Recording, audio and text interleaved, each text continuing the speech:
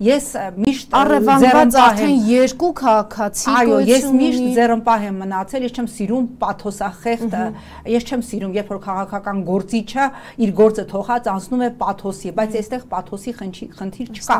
մարդիկ սոված են մարդիկ սոված են ուրեմն ահազանգեց նաև օրեր առաջ Ստեփանակերտի հիվանդանոցի գլխավոր բժիշկը որ հիվանդներին չեն հասցնում բուժօգնություն ցույց տալ երեխաներ մենք ունենք Արցախում, ովքեր տարբեր բազմաթիվ հիվանդություններ ունեն, որոնց բուժման համար անհրաժեշտ դեղորայքը չկա, երեխաներ են մեռնում։ Հղինների մասին խոսք չկա, այնտեղ տոտալ կորցնում են երեխաներին թեր սնուցման պատճառով։ Մենք ամեն օր նայում ենք, մենք էլ մեր էջում դնում ենք, հա ցավում ենք եւ անցնում ենք առաջ, հացի հերթում հերթական ու շաթափվող կնոջը, տարեցին, երեխային, հասկանում եք, եւ այս ամենը տեղի է ունենում միջազգային հանրության լուր ոչխարային հայացքի ներքո։ Դուք պատկերացնում եք եվրոպական որևէ երկրում 120.000 մարդ մատնվեր սովի։ Ինչ են անում? Հայաստանում հավատարմագրված ԵՄ դեսպանները գնում են Կորնիձորում կանգնում են մի հատ այդ մեքենաների սպայկայի մեքենաների կողքը, որով սնունդը արդեն ինչքան ժամանակ այնտեղ կանգնած է, այո, սելֆի են անում, որպես սելֆիի ձող են օգտագործում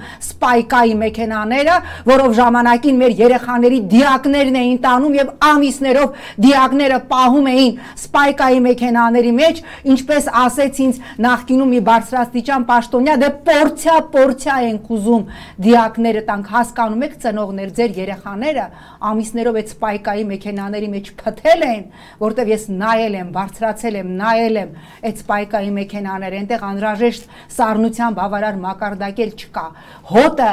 մեծ ամորի մորգի կողքը զարհուրելի էր եւ նաեւ ես եմ առաջարկել որ այդտեղ խունկ վառեն սպայկայի մեքենաների շուրջ որpիսի հնարավոր լինի այդ տարածքով անցնել հիմա ինչ են անում միջազգային հանրության մեր կարկառուն ներկայացուցիչները եւ դուք ուզում եք որ ես հավատամ որ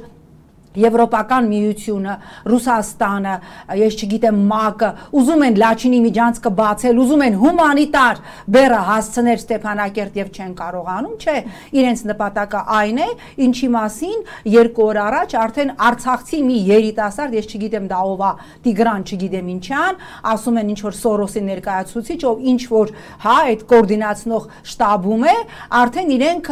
այդ Օվերտոնի պատուհանի նման շրջանառում են Ադրբեջան Ադրբեջանի տարածքով, տվյալ դեպքում Աղդամով հումանիտար բեռներ ստանալու խնդիրը։ Ես շատ ցավալի բան եմ ասում, ես հիմա չեմ մեղադրելու այն մայրերին, ովքեր համաձայն են Բաքվից էլ Շուշիից էլ ստանալ սնունդ, միայն իրենց երեխաները սովից չմեռնեն, այնտեղ երեխաները մեռնում են։ Եվս մի քանի օր սիրելի Ժաննա եւ շատ ես ինձ թույլ տամ կանխատեսել, որ այդ սնունդը Ստեփանակերտ մտնելու է Աղդամով։ Այն ինչ ասում էր Ադրբեջանը, սովից կսատկեն եւ ինչպես վարժեց վարժեցված կենթանին իրենց պատրաստած ռեպորտաժներից մեկն եմ ցիտում ինչպես վարժեցված վայրի կատուն խելոք կգա եւ մեր ձերքից կվերցնի հացը այնպես էլ արցախցիները դա կանեն